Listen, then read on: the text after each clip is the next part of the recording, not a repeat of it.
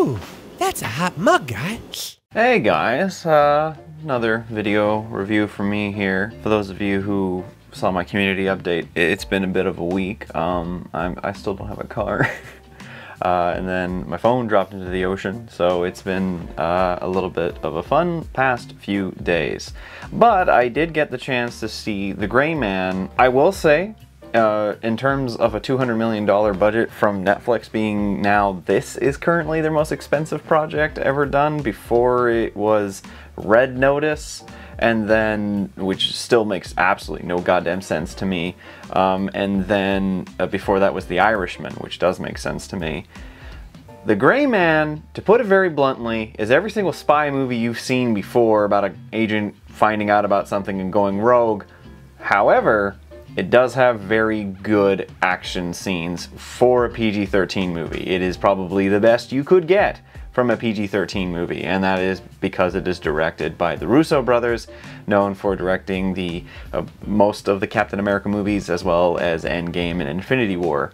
They bring a lot of the choreography, fight scene techniques that they used in Winter Soldier and they bring it into this film by making Ryan Gosling, my dream man, essentially a Terminator.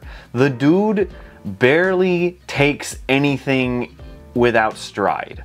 He is always getting the shit kicked out of him in what most people would say is the shit getting kicked out of them, but he kind of just walks it off. The dude gets stabbed, hit by cars, hit by bullets, hit by trains almost, and the dude just keeps on walking. And it's a pretty cool, fun time in that sense.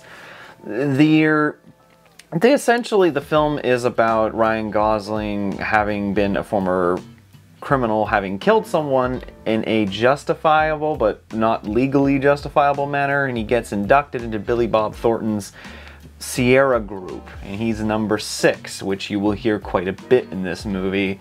He gets contracted to do all of these hit jobs with the CIA that most people would not do, and he over time becomes a super killing machine. We don't get to see that though. We just see him be in prison and then he is doing a job in China where he has to kill someone else. However, through a little bit of desertion, it turns out that this other person is another Sierra who has a little bit of dirt, some big dirt apparently, on some of the CIA handlers who have now come into power in the organization. And then Six is put onto this merry chase of trying to figure out what is on this drive, trying to evade people who are hired by screwy, shady CIA people, one of them being Chris Evans, who I think he's having more fun with this character of Lloyd than we have kind of just watching the movie.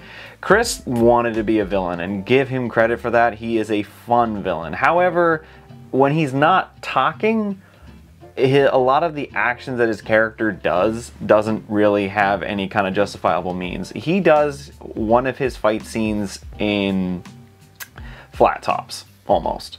Like, these are slip-on shoes. I'm sorry, but I can't find anyone justifiably threatening when he's got slip-on nice shoes. Now, was this kind of a breaker for me for the fight scene? It wasn't the only thing that was breaking me for this particular fight scene, but I just remember seeing him with the shoes on, and at one point I think they even come off, and I was just like, why did, why, why, why, why is he in these shoes? I understand he's a douche, which he does a very good job of being a douche in this movie, it just did not help in terms of adding sort of presence to this film. And something that should be taken from the Terminator comment I made about Ryan Gosling and then Lloyd's lack of threatening footwear is that the idea of risk or threat to Ryan Gosling's character is kind of fleeting. It's not as strong as it should be considering the multitude of shit that he goes through. He's put into situations that hinder him more than his character being hindered himself. Like instead of him receiving any kind of wound, injury, anything that, you know, kind of convey some form of realism or some sort of threat to his character, he is put in situations like at one point he has to try and deal with a gunfight with multiple enemies all around him on different sides, all the while being handcuffed to a bench and he has to try and reach for a gun, has to try and work around this very limited space that he has. And I would say is that's probably the most threatening bit that he's ever in, being handcuffed to a bench, because everything else he does throughout this movie is insane. He, one point, lets loose a grenade, which some of you guys may have seen that clip where he just drops the grenade in front of himself and Lloyd, and he runs right through a window, crashes through, drops about a story with one bare foot, mind you. And he just like, hmm, yeah, what what shot, what size shoes are these people? It's like, okay, I can believe some things, but there's a very good, easy reference right there to Die Hard. When Bruce Willis is walking through the building, he's got no shoes on, and then one point Alan Rickman's like, hey, shoot the glass. And he has to deal with absolutely fucked up feet for the rest of the movie after that point. And that's something that Ryan doesn't go through. He just never has anything that debilitates him except other people sacrificing themselves for him. The amount of people who actually yeet themselves for Gosling in this film is kind of surprising. Like some of them you expect, and some of them you're like, okay, you didn't have to do that, but oh well. There is a side plot involving Billy Bob Thornton's niece, who Ryan Gosling has sort of come to care for. Um, but again, this is also a trope that you're very much used to in these types of movies. And I've been kind of railing on it for a little bit, but that's just because of how very standard the story is. Now, you'll see that some people have given this kind of a very low rating. If, last time I checked, it was in the high sixes on IMDb. And to be frank, it's kind of justified to be there. Despite the really cool action sequences, there's a point where they're on some sort of train thing in Prague or, or something like that. And it's getting the absolute shit shot out of it. It's going into a building. Gosling jumps off onto a car. Uh, there's some really cool gun sh- uh, shootouts involved with cops and bad guys, and they're just going to town inside this area that is very, very much not undercover anymore. And this film does try its best with trying to push that envelope for a PG 13 movie, but in the back of your mind, you're thinking John Wick would just have blood all over the fucking place. And there is a movie, there is a Netflix movie that, funnily enough, also involves another Avenger and involves uh, one, I think, of the Russo brothers in it as well. And that's Extraction. Now, for any of you who haven't seen that movie yet, good God, go and see it. It's so fucking good.